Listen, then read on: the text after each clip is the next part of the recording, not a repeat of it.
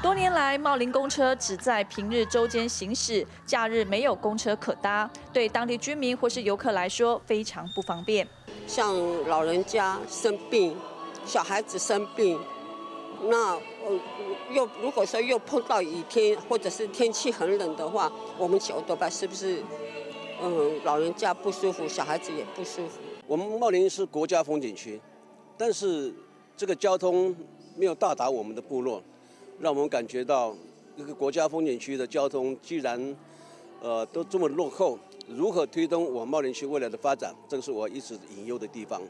那加上我们的小孩子上课，呃或是回来都没有车子回来。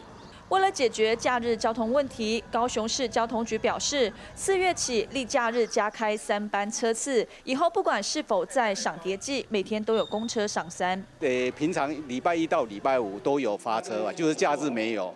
哎，而且他们觉得很不方便。哦，基于这个理由，当然高雄会义不容辞嘛，一定在要不要服务民众这样。那我们希望说能够推动它观光的这个需求，我们希望说，哎，在假日的时候，我们能够增加，那也希望说真的能够人进得来。那未来如果说班次如果能够越来越多的时候，我们也希人越来越多的时候，我们也希望说班次是不是能够再增加。高雄茂林是南部著名风景区，未来天天有公车可搭，除了解决在地交通，也期盼带动观光发展。原视新闻穆拉斯达 Q 乐盖高雄茂林采访报道。